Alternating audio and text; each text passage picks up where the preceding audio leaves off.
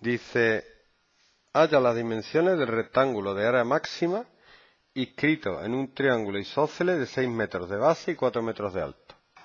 Entonces tenemos un triángulo isósceles que tiene estos dos lados iguales, que tiene 6 metros de base y sabemos que la altura mide 4. Entonces aquí se pueden introducir todos los rectángulos que quiera. Por ejemplo este, ¿vale?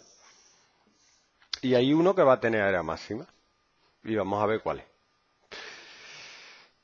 Voy a llamarle a lo que mide de aquí a aquí X. Es decir, que la base del rectángulo va a ser 2X.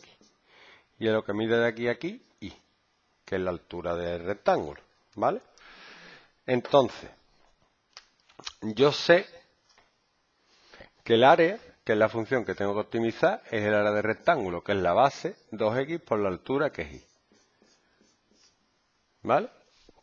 ¿Y ahora qué más sé? Pues yo sé que puedo coger este triangulito de aquí, donde este trozo va a medir la mitad de 6, que es 3, no, esto va a medir X. X. Y esto va a medir la altura 4, mm, la altura del triángulo 4 menos la altura del rectángulo Y. O sea que esto va a medir 4 menos Y. ¿Vale? Y luego puedo coger este triangulito chiquitito, donde sé que esto mide Y, y sé que esto mide este trozo que es 3, la mitad 3 menos X. Y sé que esos dos triángulos son semejantes. ¿Por qué? Porque este ángulo es igual que este. Cortado por una paralela, ¿vale? O por dos paralelas. Entonces este ángulo es igual que este y los triángulos son semejantes, ¿vale? Aplicando el teorema de Tales, 4 menos i partido i tiene que ser igual a x partido 3 menos x. Y de aquí saco la relación que hay entre x e y. ¿Vale? Me queda 4 menos y por 3 menos x igual a xy. Ahora multiplicando aquí 4 por 3, 12. 4 por menos x, menos 4x. Menos y por 3, menos 3y. Menos por menos, más xy. Igual a xy. xy con xy pasa restando y queda 0. Así que 12 menos 4x menos 3y es igual a 0. Y de aquí puedo despejar, por ejemplo, la y para sustituirla aquí y quedarme con una función de una sola variable, que es el objetivo.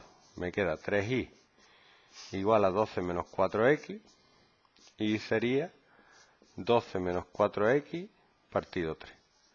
Que lo voy a separar porque puedo. 12 entre 3, 4 menos 4 tercios de x. ¿Vale?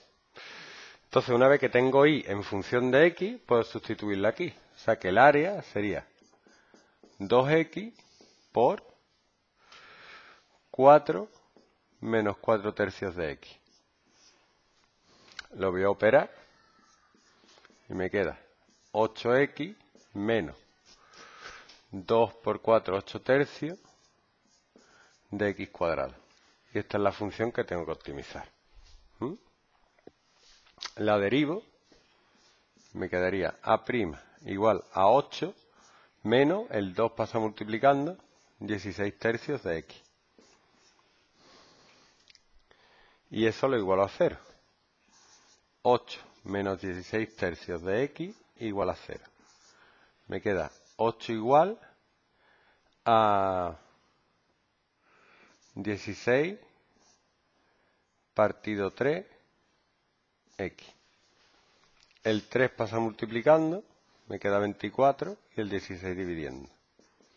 Y si simplifico, x es igual a 3 partido 2. ¿Vale? Me quedaría demostrar que efectivamente eso es un máximo o un mínimo. Vamos a demostrarlo. Cogemos 3 medios, que es 1,5, y sustituimos a la izquierda y a la derecha en la derivada. ¿Vale? Por ejemplo, el 0 y el 2.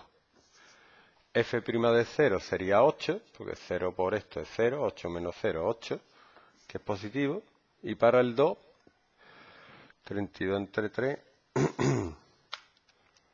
8 menos 32 entre 3, menos 8 tercios negativo.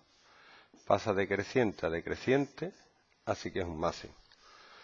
Por tanto, x valdría 1,5 e y valdría 4 menos 4 tercios por 1,5 que es 3 medios. Sería 4 menos 2 y valdría 2. ¿Vale? o sea que al fin y al cabo la base sería 3, que es la mitad justo de, la base, y la altura sería 2, que es la mitad justo de la altura. aplicando el principio ese que os digo de que siempre lo óptimo es el punto medio. Ese sería el rectángulo de máxima área dentro de ese triángulo isósceles.